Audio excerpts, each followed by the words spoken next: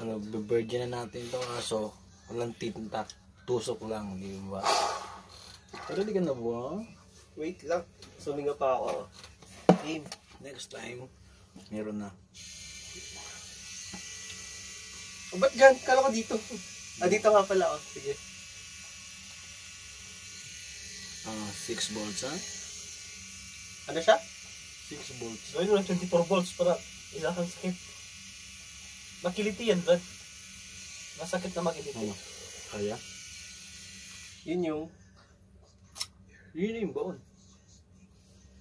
Maano lang pala. Hindi ko makita eh, baka di nakabaon. It was at this moment that he knew.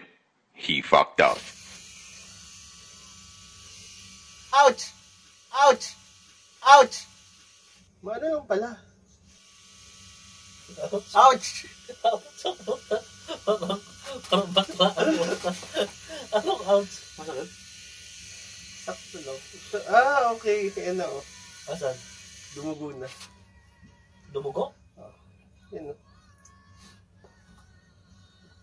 Tangan may lalaki bang ouch? Shit. So, pag tinutuan ako, puro siya dugo. Oo, sa dugo yan kasi pinupunit siya yung balat mo. Pupunit niya papasok sa loob yung tinta. Pero hindi dudugo na dudugo yan. Try natin itong design na. Wag, wag, wag.